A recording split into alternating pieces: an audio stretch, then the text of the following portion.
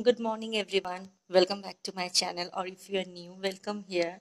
Uh, so it's five o'clock in the morning, and it's dark outside, and you are probably thinking that what I am doing so early in the morning.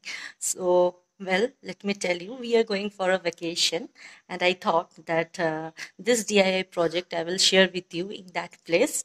So, yeah, uh, stay tuned and come with me.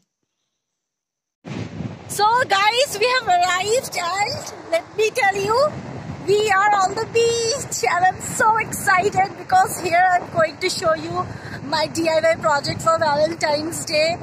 Let me show you the place around. So, uh, it is Murud Beach and it is located in the Dapoli sub-district of Ratnagiri district. Uh, just see the beauty of this beach These are all the hills over there. The scenic beauty of this beach is beautiful. It is very calming. It is secluded and here my hubby and my son is playing around. They're enjoying very much. Especially my little one is enjoying very much.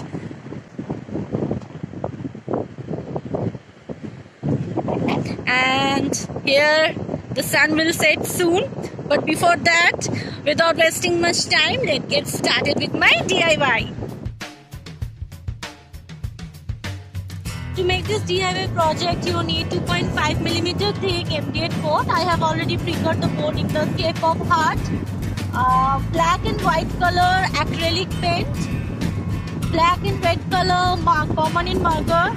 Some rocks, paintbrush and glue. At first color the MDF board with white paint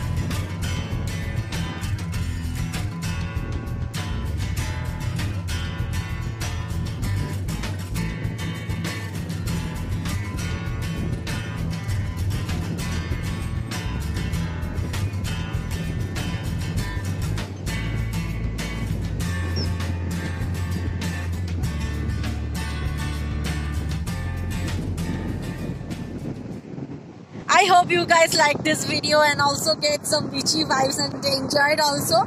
See you in the next week. Take care. Bye bye.